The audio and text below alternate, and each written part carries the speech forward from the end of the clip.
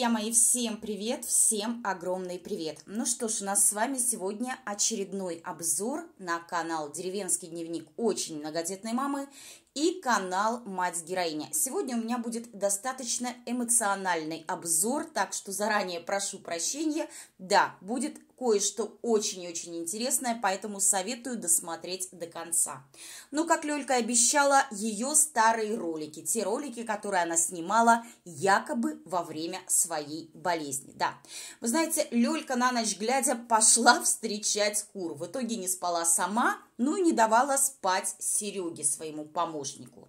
Кудахтали не только куры, но и Лёлька, которая, у которой рот не закрывался. Она все время повторяла, какие же курочки красивые, какие же они красивенные. Раз, наверное, 30 сказала, да, друзья мои. Вы знаете, и кстати, причем это она снимала именно тогда, как я уже сказала, якобы, когда она тяжело и очень тяжело болела. И вот, значит, вся вот эта вот больная люлька вышла на ночь глядя в расстегнутой куртке. Видно, решила, Лёля хватит, Сергею Петровичу расслаблять булки, да, пора бы ему и поработать. Ну, обещала же она увеличить свое хозяйство, вот, как говорится, получай, фашист, гранату. Не успела проснуться, опять, опять понеслась во двор, вспоминая про своих курочек. Говорит, пойду гляну, как же они там на новом месте. Прям, знаете, строит из себя самую настоящую курицу на сетку. Лёль, вот я думаю, ты бы так над детьми, над своими тряслась, как над этими курами, да? Кстати, опять, друзья мои, вышла якобы, значит, больная, вся раздетая в одной кофте. Это в середине октября, вот надо думать. Причем так интересно, Лёлька вышла во двор, увидела Федора, и тут началось, завертелось все самое интересное. Нет, самое интересное будет еще в конце ролика. Так вот, знаете, а, Федя ей говорит, а где это вы пропадали? Люлька, так знаете, слегка опешила от вопроса и говорит, а я спала. Ну, а Федя дальше подставил Лёльку и сказал, а вы чего, говорит, не видели, что у нас, говорит, с пристройки крышу ветром снесло? Она говорит, да, а когда? Он говорит, а это позавчера было. Тут, ребят, прифигела немножко я. Думаю, это интересно. Это ж в каком, простите, сне надо так спать несколько суток, чтобы не слышать и не чувствовать, что у тебя, и не знать, что у тебя крышу снесло, пока ты спала якобы несколько суток, да, видимо, ввели Лёльку в сон, да, а Лёлька включила дурочку и говорит, ой, а я даже, говорит, мол, не видела и не знаю. То есть, получается, Лёлька встретила маму, Возможно, да, ну я предполагаю, что так оно и было, а, да, Скорее всего, я почему-то так думаю, что близняшек уже там давным-давно нет, след простыл, так как их нигде на горизонте нет. И то, что она рассказывает о том, что а, Петрович повез, значит, близняшек, да, там в поликлинику и так далее, ну, говорить можно все что угодно, но их мы не видим, соответственно, можно сделать, по крайней мере, предположить, что их уже действительно нет. Ну, либо они болеют, либо их нет. Я больше склоняюсь к тому, что их уже нет. Хотя, ладно, а, не будем на это этом зацикливаться, это не самое главное. В общем, получается, что она встретила маму, да, и, знаете, э, решила, да, мама приехала ей помочь, и Лёлька, пользуясь случаем, умотала, возможно, к своим друзьям Козлодоевым писать очередной сценарий ее жизни. Ну и понимать, как же выходить из ситуации. Такое же, кстати, было зимой, когда она, бросив маму на маму детей своих всех, мал-мало меньше, поехала к Козлодоевым с ночевкой, и ничего ей не мешало. Поэтому Лёля, да, раз ее не было дома и знать не знала, что крышу снесло, да, крыша слетела. Ну, а Феде загадочно на вопрос, где же вы были, где же вы пропадали, сказала, я спала, ага, Прям самая настоящая спящая красавица. Спала несколько суток. Все кричит, что ей не спится, да, что у нее нет времени, чтобы поспать, а тут спит прямо несколько суток, не просыпаясь. Кругом летят крыши, да, избы горят, как говорится, а она спит и знать не знает, что происходит у нее над головой. Ну, смешно, смешно. Хорошо, хоть ее не унесло, как Элю с Татошкой, да, пока она спала. Ну, Лёлька, ну, сказочница. Кстати, Лёлька сказала, что вот этот вот Серега, ее помощник, повез девчонок в поликлинику. Ну, я так понимаю, девчонок, кого он мог повезти, якобы близняк, наверное. Ну, да ладно, не будем об этом. Ну, а Лёлька спрашивает у Артура, у вас сегодня мероприятие это намечается? На что Артур говорит, да, да. Это они как раз-таки говорили про те самые шашлыки, которые потом потом Лешка Картошка выкладывал у себя в сторис и демонстрировал нам эти кадры еще на выходных. То есть, получается, Оля вообще, по сути, не болела, да, у нее было там некое ОРЗ, но это, простите, и не считается, да, ее сначала не было дома, а потом она ела шашлыки, как-то так, да, вот такая у нее получилась болезнь. Причем Лёля рассказывает о том, что Артур решил сам проставиться за то, что он построил пристройку. Как отлично, да? Обычно проставляются те, кому построили. Да, сказала Лёлечка, что приехала ее мама, показала завтрак детей, показала, как мама кормит детей. Ну и рассказала о том, что приехал к ней специалист, который как раз-таки будет делать ей отопление. Ну и она схватилась за голову, не знает, что ей дальше делать. Хотя нет, друзья мои, все она прекрасно уже знала. Этот ролик был до стрима, а на стриме в конце она уже все решила и придумала, что надо будет прикупить. Ну, решила-то она заранее, просто на стриме в конце она озвучила, да, что надо будет прикупить ей а, 6 конвекторов. Ну, я ясное дело, за счет хомячков.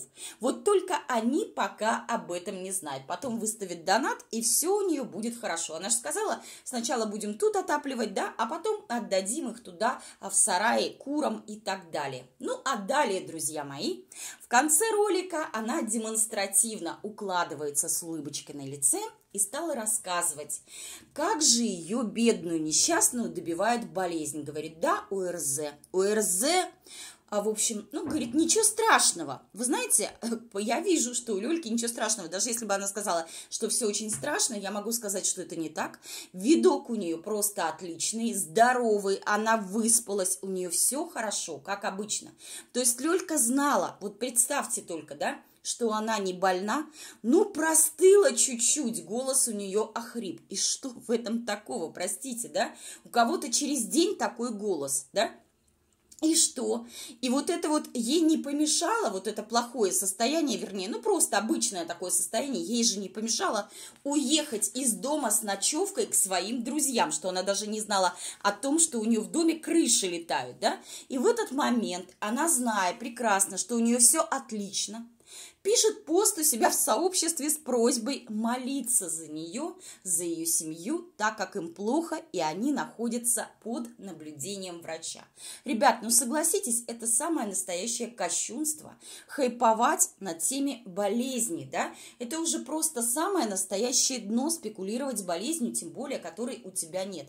Ты не была в таком плохом состоянии, чтобы тебе выкладывать посты о том, чтобы за тебя молились. Обычно люди просят молиться молиться за них, да, или за их близких, когда те находятся где-нибудь в реанимации, где-нибудь между жизнью и смертью. А это уже просто свинство, когда вы просите, да, знаете, я вот э, в прошлые выходные, честно, ребят, быстро скажу, я приболела. У меня поднялась очень высокая температура. Об этом знали только некоторые, да, так как я не считаю нужным грузить своих зрителей на ютубе своими проблемами. У каждого из вас их и так предостаточно. И у меня спрашивали а некоторые зрители, которые заметили, что у меня голос охрип, да, а, Галюнь, что у тебя с голосом? Я говорила, все нормуль, ребят, все замечательно. При этом пила всевозможные там терафлю, парацетамолы и так далее, сбивала температуру да, я спала, и когда я знаете, после того, как я вставала, да, а, ну, сбивала себе температуру, я шла записывать ролики, но ведь все равно я валялась целыми днями и ничего не делала. Но в отличие от Лёльки, я действительно без конца потела. Выглядела я, конечно, просто ужасно, так как выходила у меня температура. А Лёлька, кстати, позавчера вечером на стриме уселась и стала рассказывать, что она ужасно потеет. В каком месте она потела, я не знаю, да, но обычно, когда человек серьезно потеет в связи с болезнью, осенью, это, конечно же, очень и очень заметно, да, даже если она одета, то по лицу это все равно заметно или по шее и так далее, ну, неважно.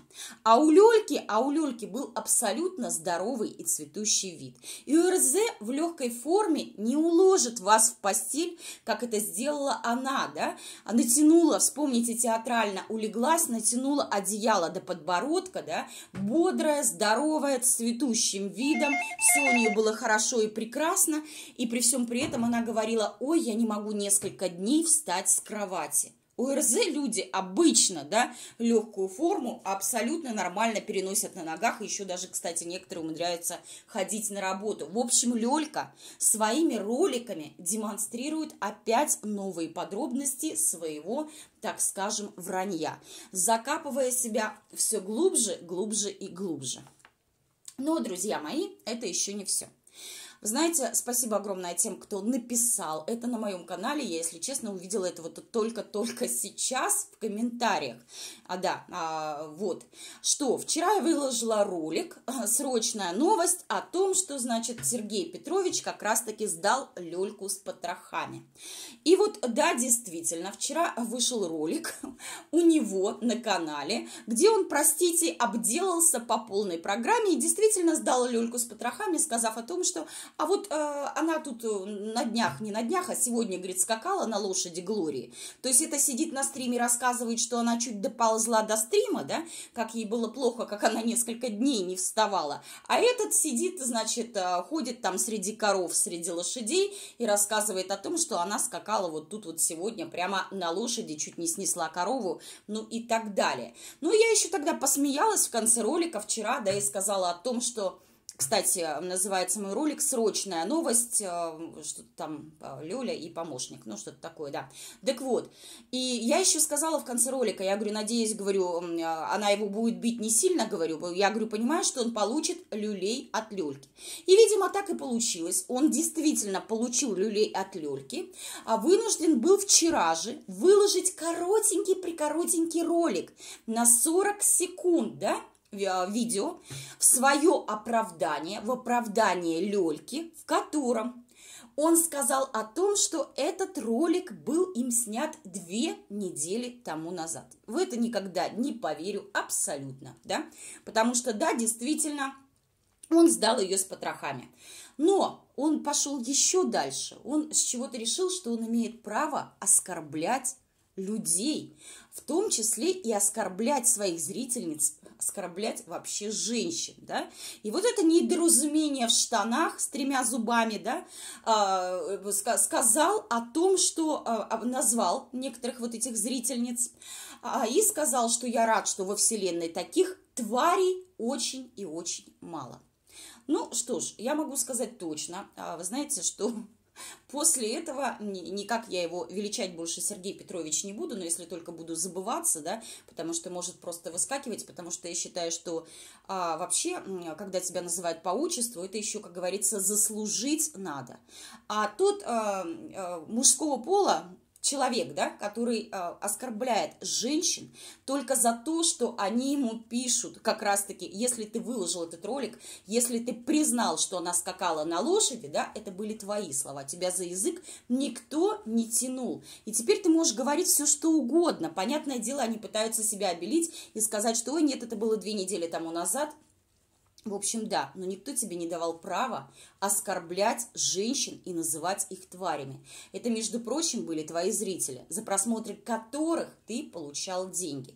И что я хочу сказать? Я смотрю, что быстро оперяются вот эти вот люди, людишки, да, я бы даже сказала, которые находятся рядом с Лёлькой за ее счет, именно за ее счет, а вытаскивают свои каналы, Просто, вот как э, сделал это вот этот вот э, дядя Сережа, да, у которого до этого, я уже сто раз говорила, когда он был никто и звать его никак, он и сейчас никто и звать его никак, но до этого его канал был никому не интересен, там было по 60, по 100 от силы просмотров, и как только он приехал и стал рядом с этим Лёлькиным, да, барским телом, тут же у него посыпались просмотры. Посмотрите, он на Лёлькином контенте делает по 30, по 40 тысяч просмотров, да, по 25. Это до хрена. Даже Лёлька на своем контенте столько не делает.